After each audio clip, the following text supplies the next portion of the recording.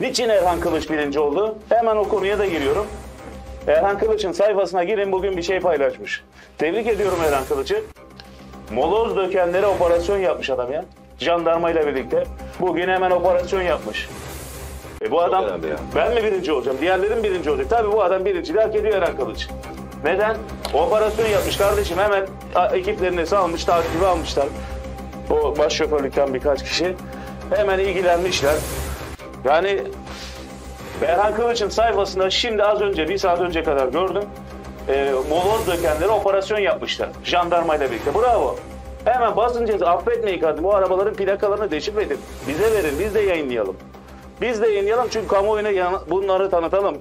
Çevreyi kirletiyorlar diye. Ormanlarımıza moloz dökenleri Buca Belediyesi ekipleri yakaladı, jandarmaya teslim etti. Teşekkürler Erhan Kılıç diyorum ben buradan. Tebrik ediyorum Buca Belediyesi'ni.